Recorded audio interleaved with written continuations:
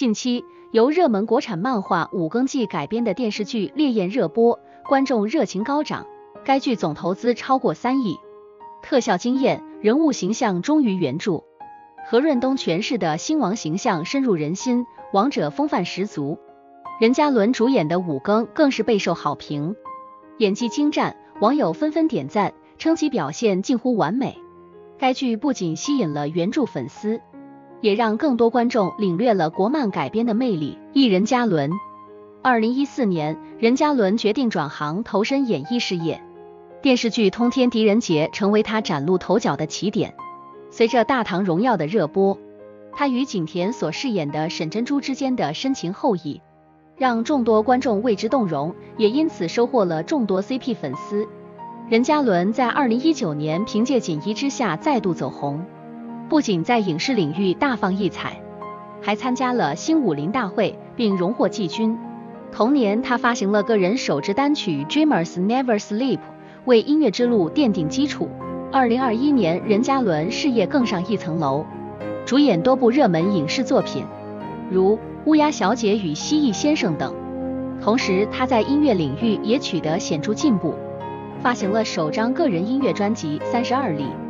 面对绯闻风波，任嘉伦坦然面对，勇敢公开与聂欢的恋情，两人最终步入婚姻殿堂。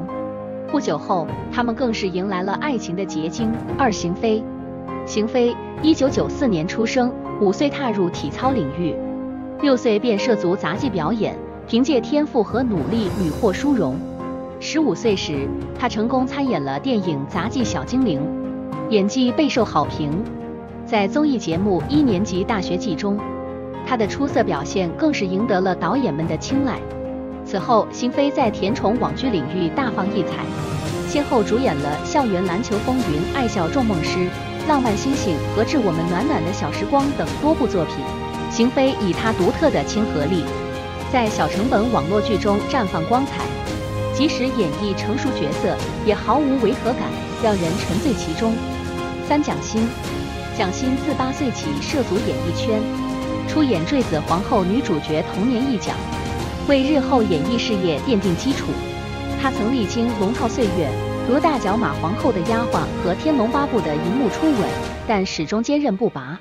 终于，《甄嬛传》中的华妃一角让她崭露头角。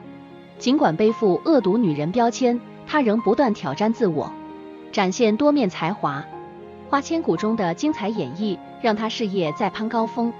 而在《欢乐颂》中饰演的樊胜美，更是赢得了观众的喜爱与认可。蒋欣与叶祖新缘尽，却成娱乐圈楷模。分手之际，二人未有任何负面互撕，亦无恶言相向，反而展现了成熟与尊重。四何润东，何润东在十三岁那年就踏上了前往加拿大的求学之旅。年仅十五岁的他，开始边学习边自食其力。一九九四年，何润东的才华被一位星探发掘，他客串了电影《梁祝》，从而误打误撞的踏入了演艺圈。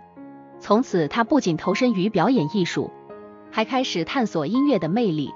二零零一年，他凭借一首《没有我你怎么办》红遍海峡两岸。二零零五年，何润东凭借在《秦王李世民》中的精彩表现，荣获跨界飞跃艺人的称号。何润东涉足各类电视剧的拍摄。塑造了许多让人难以忘怀的角色形象。